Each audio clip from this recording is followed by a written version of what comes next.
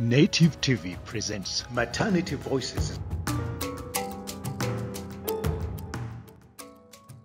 It's my first time actually to have my baby here at Kawaala.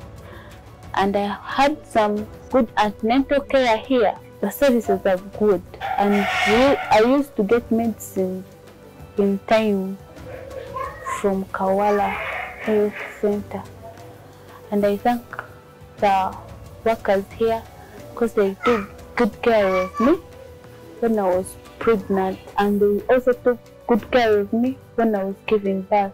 Maternity Voices is brought to you by Native Voices International in collaboration with White Ribbon Alliance, WRA Uganda, thanks to support from USAID through East West Management. No woman should lose a life while bringing a life to this world. In Uganda, the high maternal mortality of 326 by 100,000 deaths is preventable if all necessary precaution is taken by, among other interventions, ensuring that all mothers make all the required eight antenatal visits, have health facility based delivery, are delivered by qualified and skilled health providers. Mothers are treated with dignity and respect, have access to health facilities.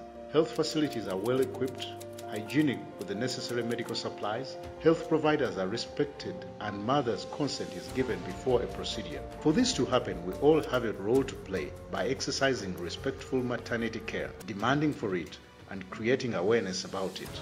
Join us as a partner in the campaign to establish a respectful maternity care. You can start by liking this video, sharing it in your networks, and subscribing to the Native TV YouTube channel for updates on this campaign and other common good initiatives.